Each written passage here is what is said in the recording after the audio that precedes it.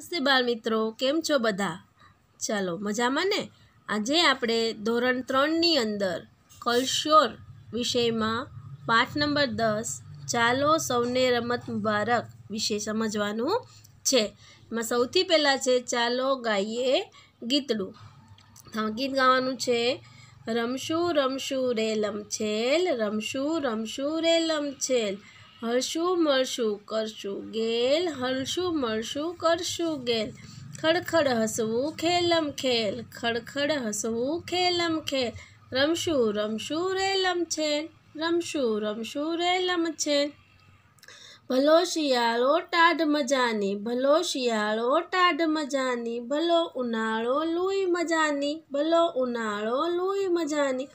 વરસાદ વા છઠ મજાની, વરસાદ વા છઠ મજાની, બારે માસ મજાની ગમ્મત, બારે માસ મજાની ગમ્મત. ધીંગા મસ્તી, ઠેલમ ઠેલ, ધીંગા મસ્તી, ઠેલમ ઠેલ. રમશું રમશું, રેલમ છેલ, રમશું રમશું, રેલમ છેલ.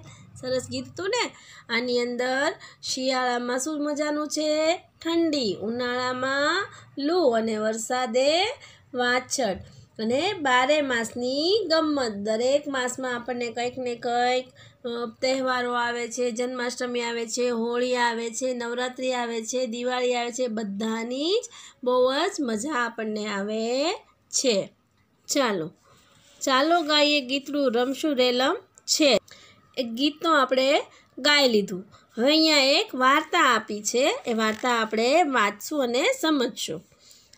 બિલ બિલે નામનો એક છોકરો. એ એટલો બધો તોફાની કે એના તોફાનની એના મા બાપ તો તોબા પોકારી ઉઠે. આ બિલે નામનો જે છોકરો હતો એ ખૂબ જ તોફાની હતો. એના તોફાનથી એના મા બાપ પણ તોબા પોકારી ઉઠે. તોબા પોકારી ઉઠે એટલે કે ખૂબ પરેશાન થઈ જતા હતા. તમારી જેમ જ એ પણ બહુ રમતિયાળ હતો. ભાઈબંધો સાથે ચોર સિપાહીની ખૂબ રમ, રમતો. કહેવાય છે કે એને સે, ક્રિકેટની રમત બહુ ગમતી. એને કઈ રમત બધાથી વધારે ગમતી? તો ક્રિકેટની.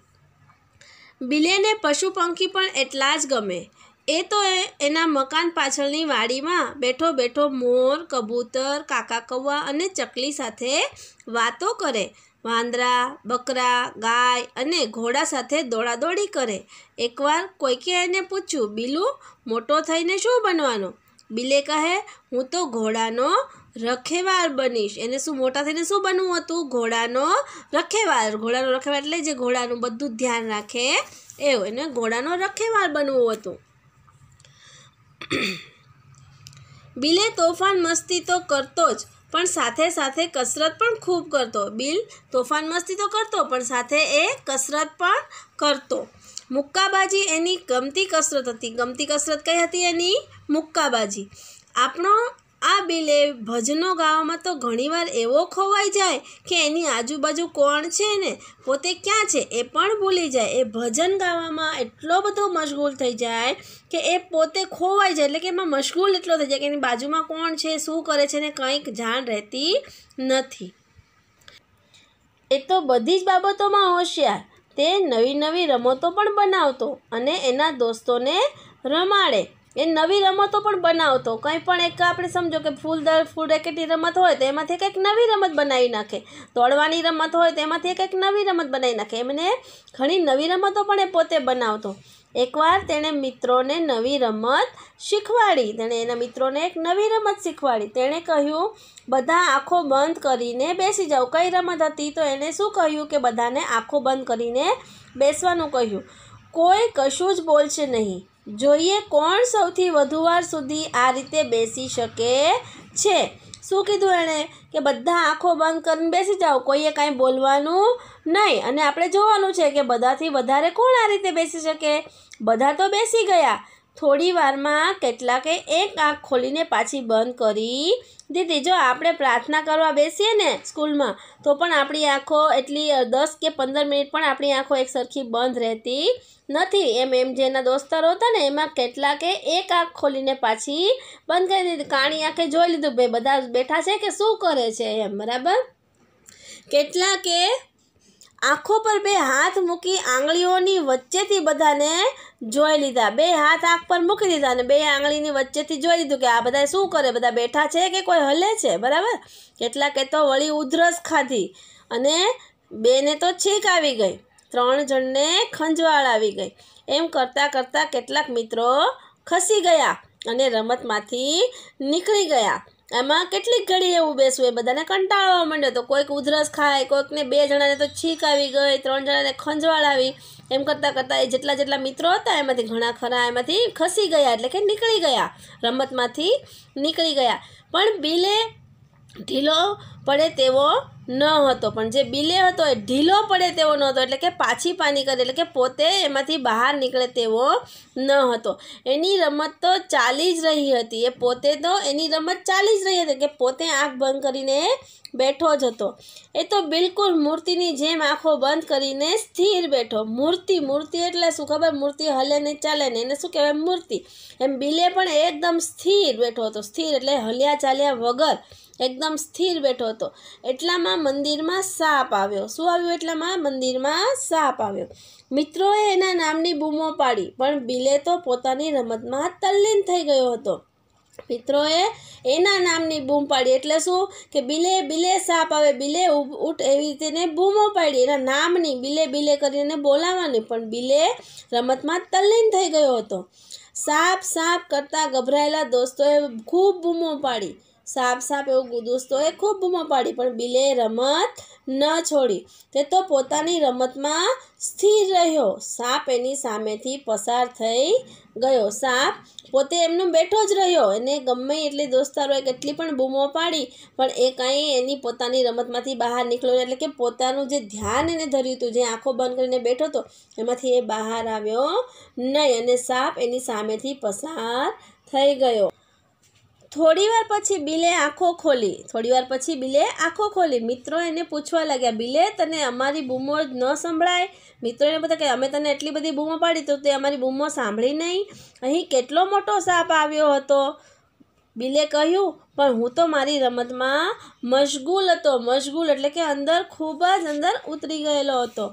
બિલે કશાથી ડરે જ નહીં. એ તોફાન તોફાની તો હતો, સાથે સાથે નીડર પણ એવો જ હતો, નીડર એટલે જે કોઈનાથી ડરે નહીં, એવો કોઈ પણ મુસીબત આવે તો ડરે નહીં એને શું કહેવાય? નીડર. એ એકથી પોતે તોફાની તો હતો, પણ સાથે સાથે એ કેવો હતો? નીડર પણ એવો જ હતો. બિલેને વડવાઈના હિંચકા બહુ ગમે. બધાએ ઘણા વખત દેશમાં ગયા હોય આપણે, ત્યારે વડવાઈના હિંચકા ખાવા, વડ, વડલાની જે મૂળિયા જે હોય, એ લટક ને વડ, આપણે શું કહીએ વડવાઈ એ એને પકડીને આપણે હિંચકા ઘણી વખત ખાધા છે. એમ બિલેને પણ વળવાઈના હિંચકા બહુ ગમતા. એ તો રોજ બપોરે હિંચકા ખાવા જાય. હિંચકા ખાવાની એની આ સાવ પણ, એની રીત પણ સાવ જુદી જ. હિંચકા ખાવાની એની રીત પણ સાવ કેવી જ હતી જુદી. નજીકની વાડીમાં એક વડલો હતો. બિલે આ વડલા પર ચડે. એની ડાળી પર પગ ભેરાવે અને પછી પોતે શરીર નીચે લટકાવીને હિંચકા ખાય. કઈ રીતે? તો જે અહીં આપણને ચિત્રમાં બતાવ્યું છે કે વડલા પર ચડે, પછી એની જે આ વડવાઈ હોય એમાં પગ ફસવી દે અને પછી ઊંધા માથે એ હિંચકા ખાતો. કઈ રીતે ખાતો? ઊંધા માથે. જાણે કોઈ લંગૂર વડવા ગોળ ન હોય, લંગૂર. લંગૂર એટલે શું? વાંદરા. આજે લાલ લાલ મોઢાવાળા વાંદરા આવે ને, શું કહેવાય? લંગૂર. લંગૂર અથવા તો વડવા ગોળ. વડવા ગોળ એટલે શું? આપણે શું કહીએ? ચામાચીડિયું ન હોય એ ઊંધામાંથી લટકે ને ચામાચીડિયું એને પડવાની તો જરાય બીક ન લાગે. તેને પડવાની જરાય બીક લાગે નહીં.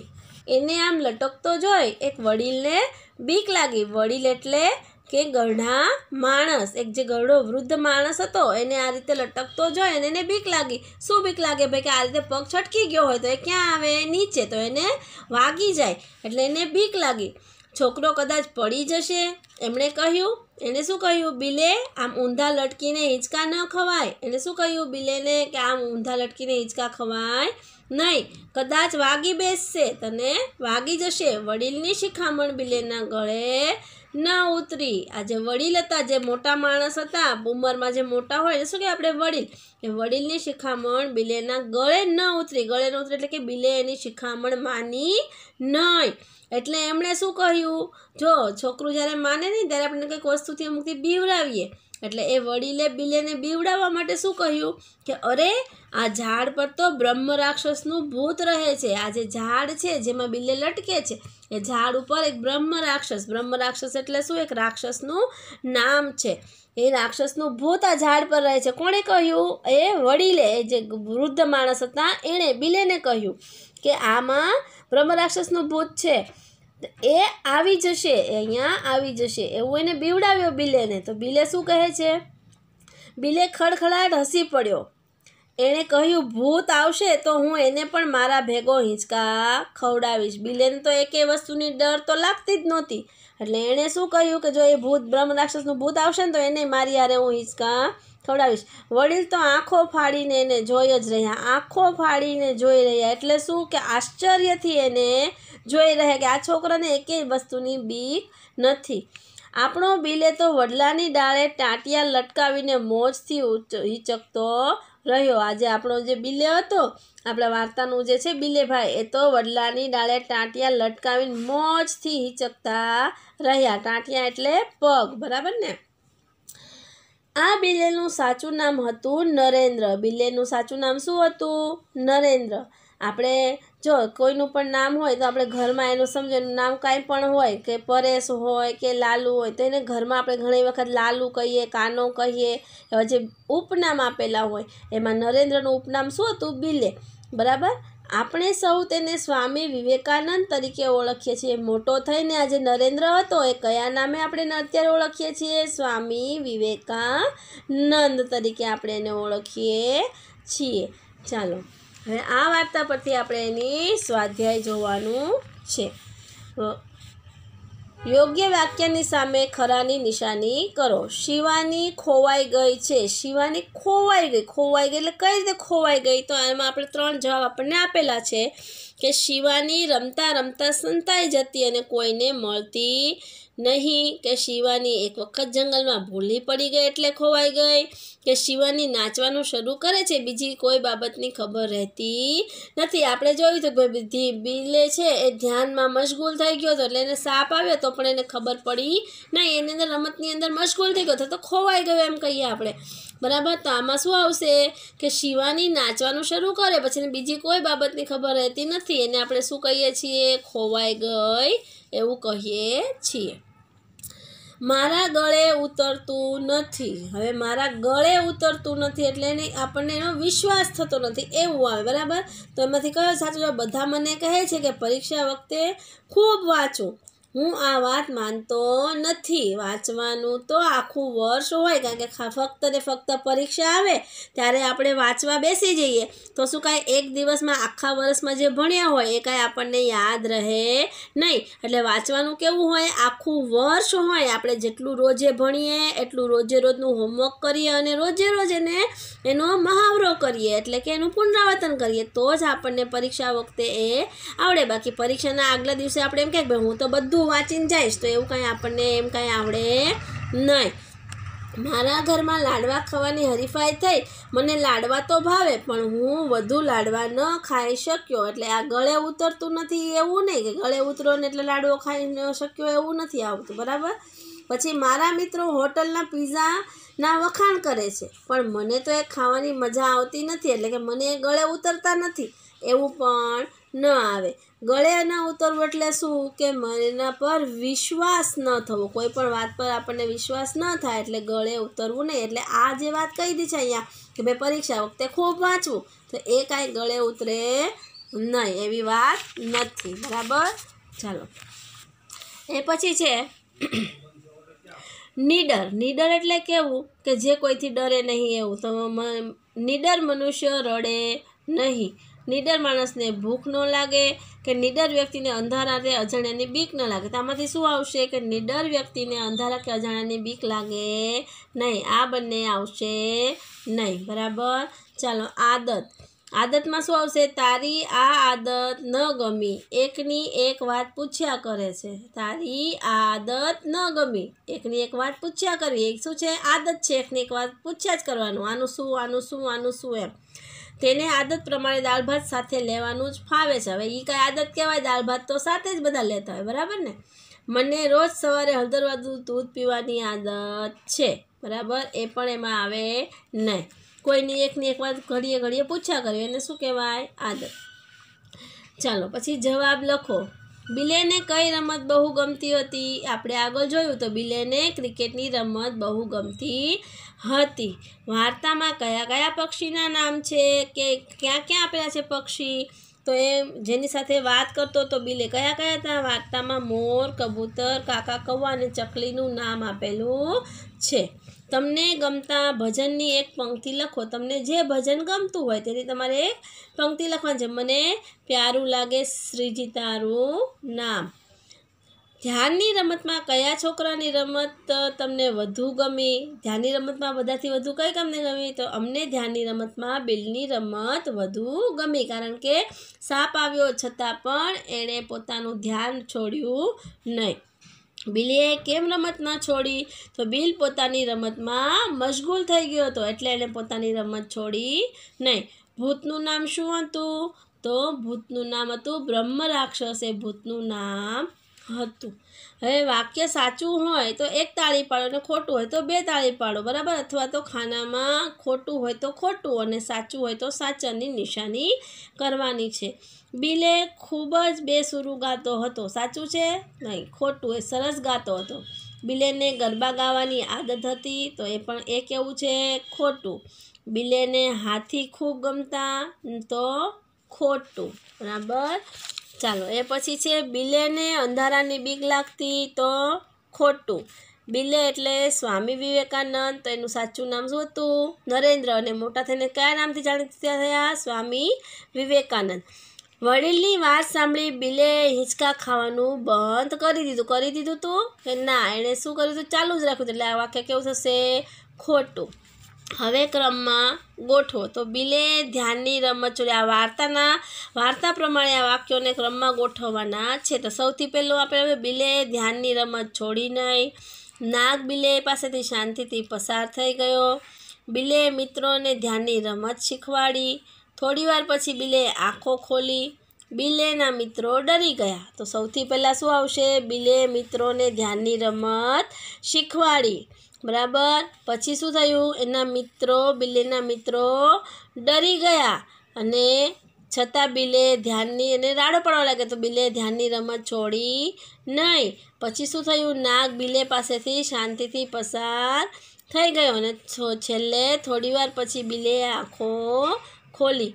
એટલે આ પહેલું વાક્ય આવશે, આ બીજું આવશે, આ ત્રીજું, આ ચોથું અને આ પાંચમું વાક્ય આવશે. બરાબર છે? ખોટા અક્ષર કે શબ્દ છે કે વાક્ય ફરીથી લખવાનું છે. હવે અહીંયા આપેલું છે કે નો, ની, નું રમત બહુ ગમતી. હવે આ નો, ની નુંમાંથી કયું શબ્દ સાચો આવશે એ આપણે જોઈને અહીંયા લખવાનું છે. એને ચોર સિપાઈ નો રમત બહુ ગમતી કે ચોર સિપાઈ ની રમત બહુ ગમતી કે ચોર સિપાઈ નું રમત બહુ ગમતી? તો શું આવશે કે એને ચોર સિપાઈ ની રમત બહુ ગમતી? એટલે નો અને નું ઉપર શું આપણે કરશું? છેકો દઈ દઈશું અને પછી શું લખશું એને નીચે? એને ચોર સિપાઈની રમત બહુ ગમતી. પછી બિલેને બીક લાગતી નહીં. એમ જ આવશે, લાગતું નહીં, લાગતો નહીં એમનું આવે. શું આવે? બીક લાગતી નહીં, એટલે લાગતું ને લાગતો ઉપર છેકો માર બિલેને હિંચકા ખાવાની ની આદત પડી હતી, બરાબર? કે બિલેને હિંચકા ખાવાનું આદત પડ્યો હતો. બિલેને હિંચકા ખાવાનો આદત પડી હતી, એવું ન આવે. એટલે શું આવશે? બિલેને હિંચકા ખાવાની આદત પડી હતી એટલે નું, નો અને પડ્યું અને પડ્યો ઉપર છેકોમાં દેશું. વડીલે બિલેને હિંચકા ન ખાવાની શિખામણ આપી. બરાબર? વડીલે હિંચકા ન ખાવાની શિખામણ આપી. બિલે વડના ઝાડ પર હિંચકા ખાય. બિલે વડના ઝાડ પર હિંચકા ખાય. હું જો છોકરો હોય તો મોટો અને છોકરી હોય તો મોટી. તો હું મોટી થઈને ઘોડા, છોકરો હોય તો નો, કે હું મોટો થઈને ઘોડાનો રખેવાળ બનીશ. અને છોકરી હોય તો હું મોટી થઈને ઘોડાની રખેવાળ બનીશ. બરાબર? ચાલો, હવે વાક્ય વાંચી કૌંસમાંથી લાગુ પડતા વિધાનો ખાલી જગ્યામાં લખવાના છે. પહેલાં છે, ડર લાગ્યો, ગુસ્સો આવ્યો, ખૂબ ખુશ થઈ બીક લાગી અને મજા આવી. હવે આમાં જે વાક્યો આપેલા છે, એમાંથી જે લાગુ પડતું હોય વાક્ય તમારે અહીંયા લખવાનું છે. તેમાં શું થશે કે લતાએ મારા હાથમાંથી પેન્સિલ જૂટવી લીધી. મને આપણા હાથમાંથી કોઈક પેન્સિલ જૂટી આપણને શું થાય? ગુસ્સો આવે. તો અહીં શું લખશું? ગુસ્સો આવ્યો. બરાબર? બીજું છે, આધ્યાને આજે પહેલી જ વખત પ્રાર્થના સંમેલનમાં ગાવાનું હતું. પહેલી વાર આપણને ક્યાંક કાંઈક કામ કરવાનું કહી તો આપણને શું લાગે તેની બીક લાગે કે ભાઈ કેવું થશે? અને પહેલી વાર પ્રાર્થના સંમેલનમાં ગાવાનું કીધું. એટલે એને બીક લાગતી હતી કે ભાઈ કેવી સરખી ગવાશે, નહીં ગવાય, અવાજ કેવો આવશે? ને બીક લાગી. હરેશ રાત્રે અંધારામાં એકલો ધાબા પર ગયો. અંધારામાં એકલો ધાબા પર. અચાનક તેના ખભા પર ગરોળી પડી અને તેને શું લાગી જાય? એને ડર લાગે. જો બીક લાગવી અને ડર લાગવો એ બંને શબ્દનો અર્થ સરખો થાય છે. એનો ઉપયોગ આપણે અલગ અલગ કરીએ છીએ. અહીંયા એને ડર લાગે છે. ગરોળી એના પર પડે તેને શું લાગ્યું? અંધારા હતો એટલે એને ડર લાગ્યો. પણ અહીંયા જેને પહેલી જ વખત ગાવાનું કીધું છે એટલે એને શું લાગતી હતી ત્યાં? બીક લાગતી હતી. વિશ્વાને તેના પપ્પાએ વાર્તાનું પુસ્તક ખરીદીને આપ્યું અને પપ્પાએ વાર્તાનું પુસ્તક તે શું થઈ ગઈ? ખૂબ ખુશ થઈ ગઈ, બરાબર?